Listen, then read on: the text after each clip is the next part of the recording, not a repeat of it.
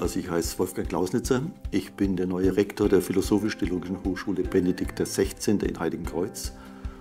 Ich war früher Professor in Bamberg und in Würzburg und bin seit meiner Emeritierung eigentlich jetzt andauernd in Heiligenkreuz und bin 72 Jahre alt.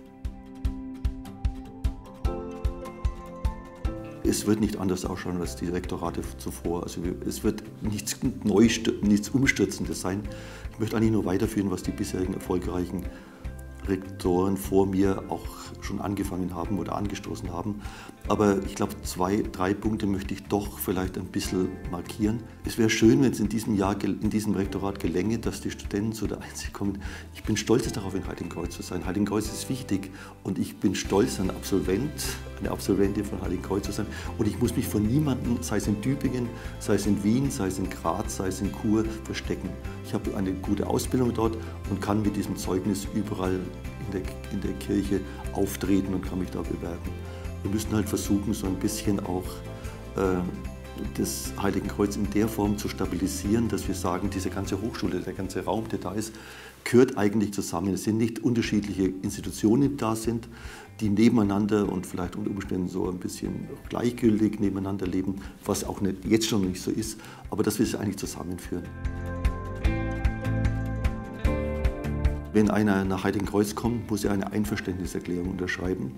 Und in dieser Einverständniserklärung unterschreibt er, dass er die katholische Lehre, so wie sie auf dem Zweiten Vatikanischen Konzil authentisch gelebt wird und auch artikuliert wird, tatsächlich übernimmt, dass er sich dieser Lehre auch zustimmt und dass er auch die Praxis der Vorgaben des römischen Lehramtes akzeptiert. Das heißt konkret in der Liturgie. Wir wollen katholisch sein, und wir versuchen, katholisch zu sein in der Mitte.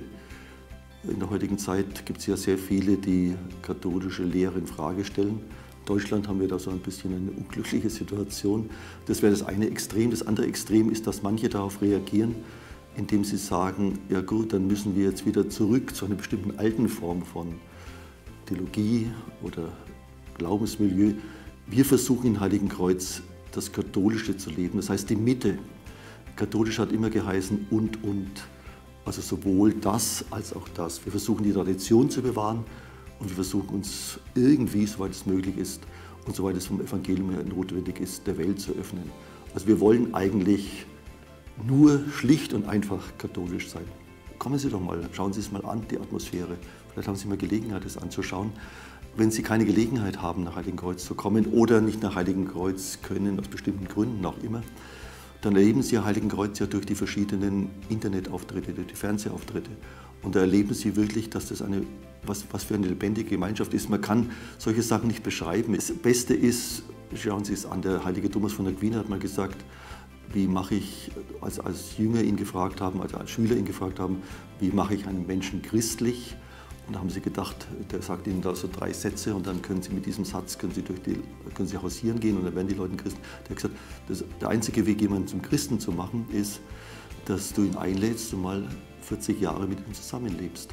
Dann sieht er, was das bedeutet, Christ zu sein. Wenn Sie mal Heiligen Kreuz erleben wollen, würde ich sagen, kommen Sie mal, schauen Sie es an und leben Sie mit uns ein bisschen.